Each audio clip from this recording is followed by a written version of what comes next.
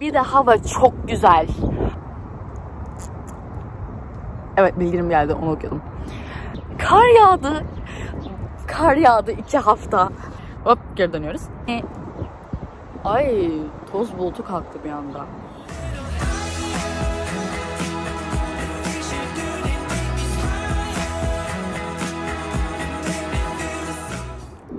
Hepinize merhaba.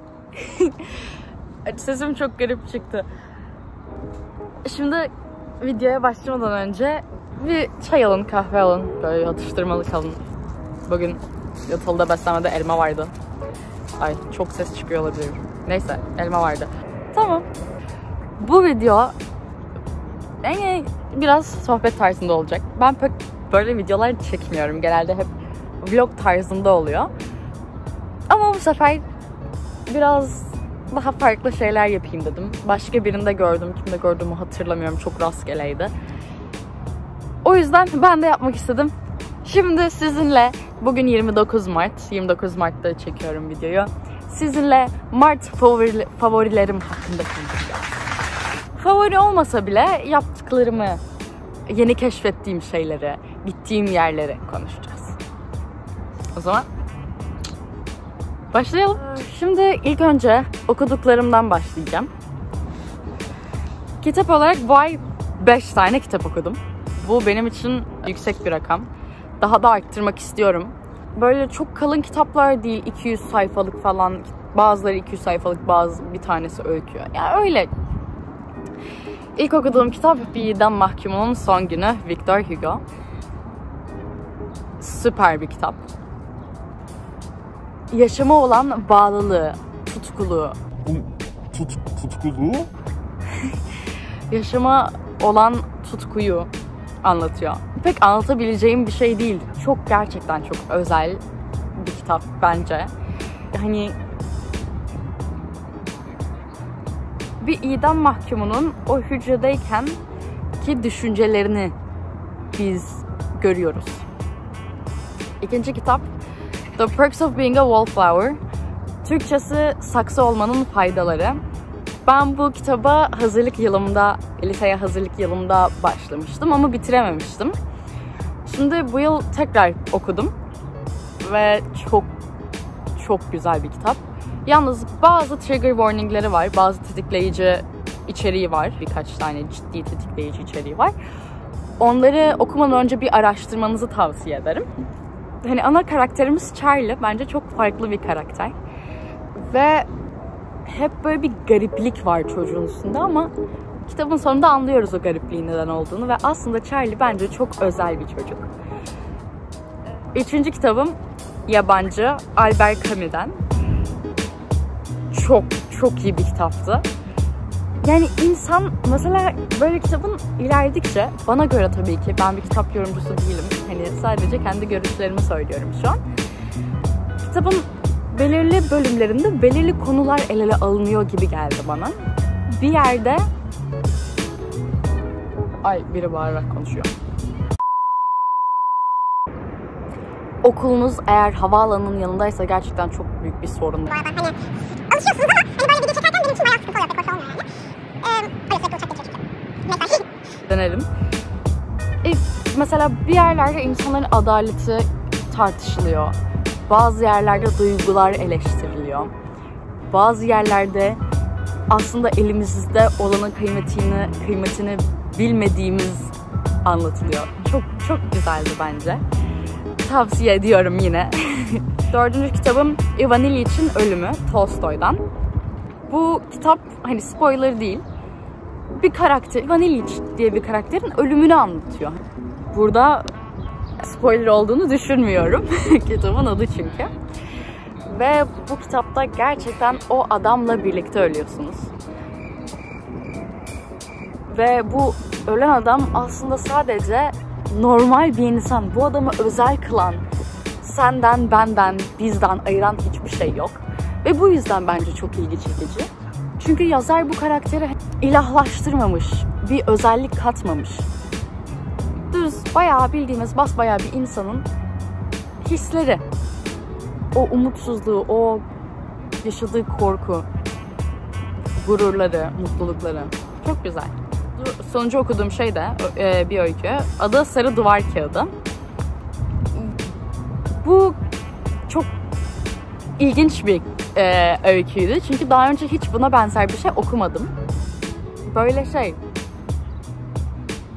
Ana karakter var ve ana karakterle birlikte deliriyoruz. Hani ana karakterin delirişine tanık oluyoruz. Ve bir yere kadar bu deliriş fark edilmiyor. Hani delirdiğini karakterin fark etmiyorsunuz. Ve sonra bir yerde yaşıyorsunuz. Bir yerde artık diyorsunuz ki oha delirdi. Hani oluyorsunuz ve bu bilmiyorum çok ilginç. Hani daha önce okuduğum hiçbir türe benzemediği için yine öneririm. Yine uçak geliyor. yine uçak geliyor. Okuduklarım bu ay bu kadardı. Güzel kitaplardı. Ee, çoğu ölümle alakalı. Bu tesadüfen oldu. Hani kendim seçmedim. İlk e, bir idam mahkumunun son gününü bayağıdır okumaya çalışıyordum. Okumak da istiyordum. Bu ay okuyabildim. Sonra işte yabancı da okuma listemde vardı. Sonra Ivan İliç'in Ölümü ve Sarı Duvar Kağıdı'nı bir hocam önerdi. Ben böyle bir idam mahkumunun son gününü anlattıktan sonra bir de yabancıyı okuyup onunla ilgili görüşlerimi belirttikten sonra güzeldi yani. Şimdi izlediklerime geçiyoruz. Heather's müzike, müz, Heather's müzikalini izlemeye başladım ama yarısına kadar falan geldim. Daha bitirmedim. Spoiler vermeyeyim nereye kadar geldiğimi söylemeyeyim. Sonra Küçük Kadınlar, Little Women izledim. Güzeldi. Sonunu pek beğenmedim. Hani istediğim gibi bir son değildi. Kesinlikle tahmin ettiğim bir son da değildi. Ve yaşadım. Böyle mi bitirilir yahu oldum. Ama aynı zamanda karakterlerin sonlarını beğenmedim. Yoksa filmin sonunu beğendim. Bu kitabı da okumak istiyordum bu arada. Ama filmini izlemedim yani. Kitabını da okurum ne olacak değil mi? Sonra geldik bombaya. Berden'i izledim. Hani herkes biliyordur artık bilmeyen var mı bilmiyorum. Hani tapıyorum ee, kadına. ben bu film çıktığı gün, e, Cuma gün çıktı 4 Mart'ta hemen okuldan direkt Kadıköy servisine bindim. Akasya'da indim. Girebildiğim ilk seansa girdim. Ve çok iyiydi.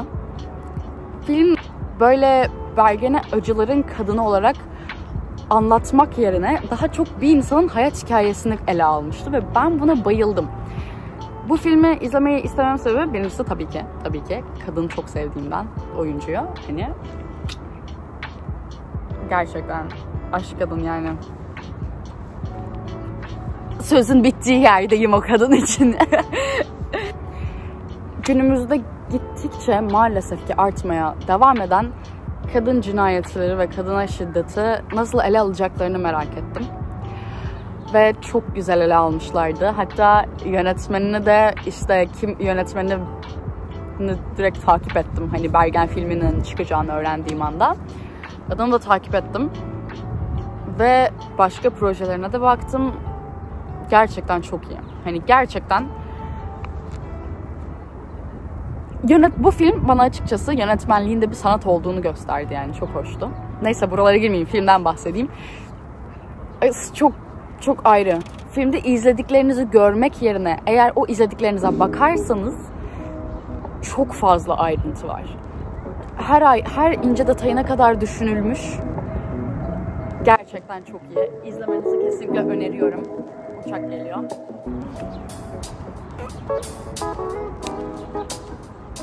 Şimdi e, dinlediklerime geçiyoruz. İlk şarkı Toxic, Boy With The Uke. Doğru okudum.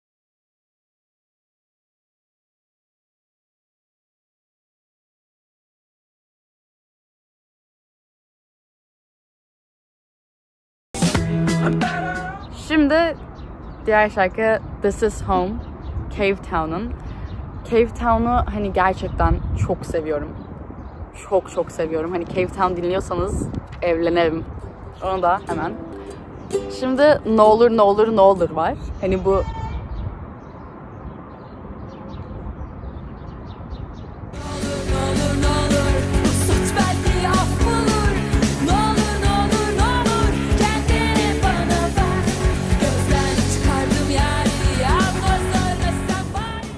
Sonra Yaşlı Amca ve Dolu Kadehi Ters Tut.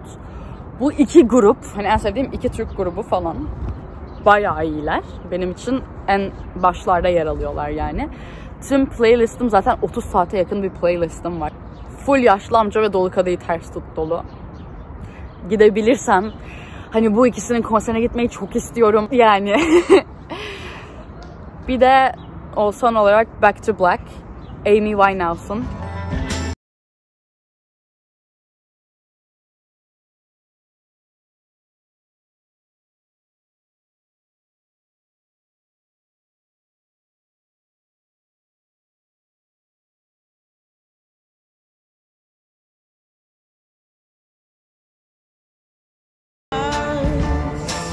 Sonra şimdi yeni keşfettiğim şeylere geçelim. Ee, bir podcast dinlemeye başladım. Ortamlarda satılacak bilgi diye. Merve diye biri bu podcast'ın sunuculuğunu yapıyor.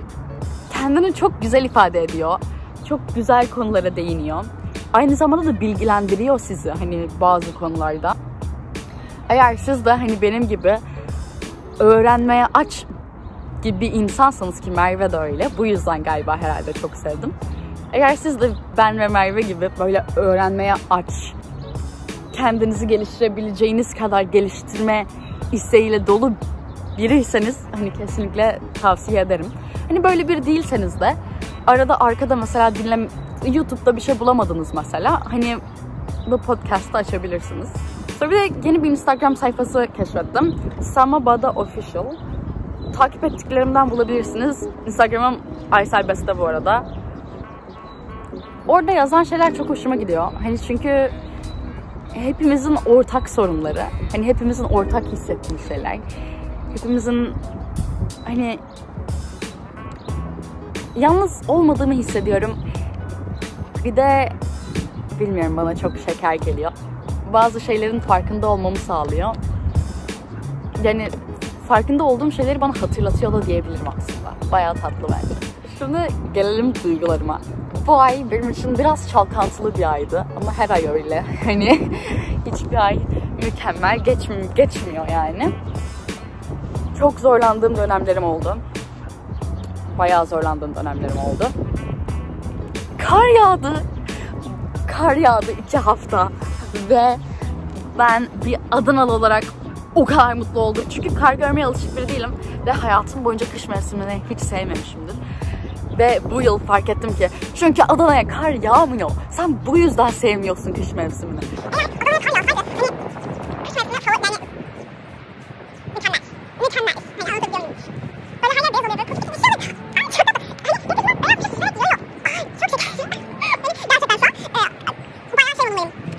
Hani gerçekten ilk defa kar görmüş bir insan gibi davranıyorum.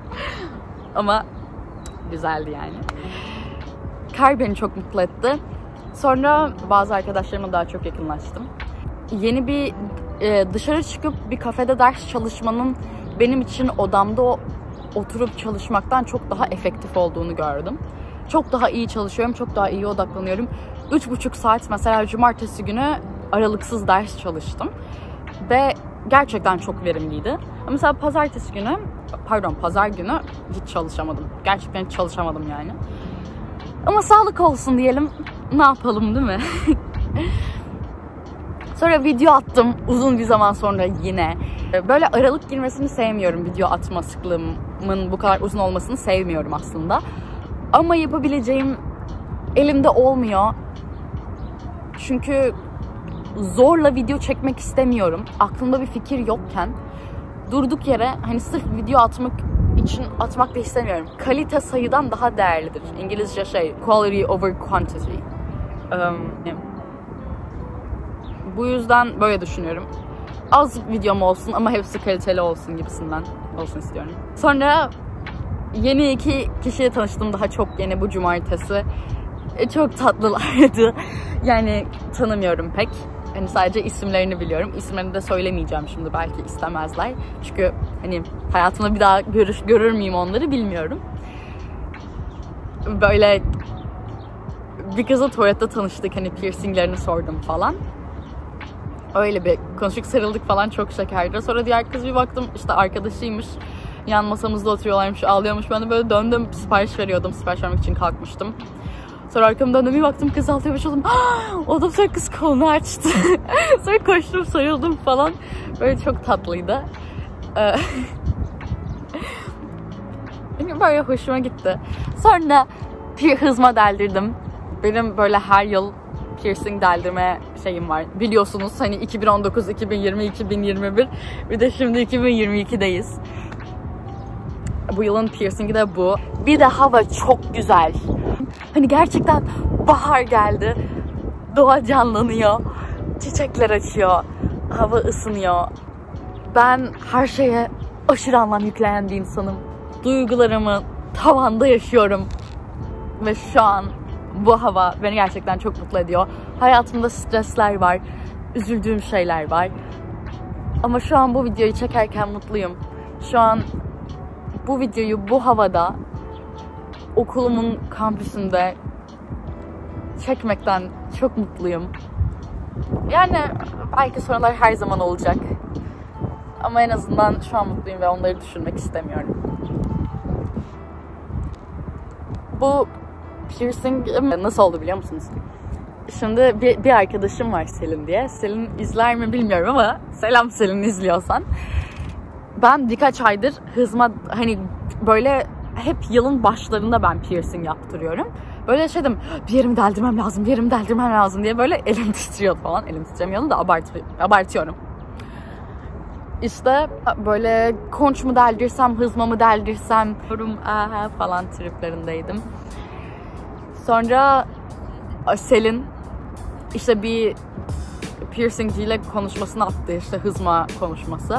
Ben ki hayır benim de deldirmem lazım. Sen deldiriyorsan ben de deldiriyorum oldum. Şöyle çıktığım anda kendimi hani attım sokağa deldirdim piercingi, hızmayı. İşte şimdi iyileşmesini bekliyorum. Sonra halkaya geçeceğim. Sınavlarım var. Ay uçak. Böyle Bahar'ı ne kadar sevdiğimi anlatmak istiyorum şu an. Çünkü neden olmasın. Bir de Adana'ya gideceğim. Adana'ya döneceğim. Sınavlar bitsin. O da güzel olacak. Tiyatrolar günüydü. Ah bunu söylemeyi unuttum. Tiyatroya ne kadar aşık olduğumu biliyorsunuzdur herhalde. Bilmiyorsanız da tiyatroya aşığım. Oyunculuk, hani dizi film sektörü, özellikle tiyatro. Hayattaki en büyük tutkum. Bu beni çok mutlu ediyor. Bilmiyorum bunu yapmak, bununla uğraşmak. Bir post attım. Aslında bu postu geçen yıl atmayı düşünüyordum 2021'de. Bayağı önceden yazmıştım o yazıya. Ve devamında getirememiştim. Getirmeyi istiyordum ama hani şey olmadı. Ben dedim ki ah bugün 27 Mart bugün atayım bunu dedim. Çünkü post atmak istiyordum. Ve attım. Hoşuna gitti. Ay tamam Bahar'ı neden sevdiğimi alıp geliyoruz. Hani doğanın canlanması, kuşların börtü, böceğin çıkması. Hani bazı insanlar böcekleri sevmediğinden Bahar'ı da pek sevmez. Onları da anlıyorum. Ama doğaya tapan biriyim. Doğayla özdeşleştiriyorum kendimi. Nasıl bilmiyorum ama hani duygusal olarak biraz. Ve bu yüzden böyle sonbahar hariç sonbahar benim en sevmediğim mevsim. Hani Mart ayım böyleydi. Bence güzel bir aydı. Yeni tecrübeler, yeni insanlar.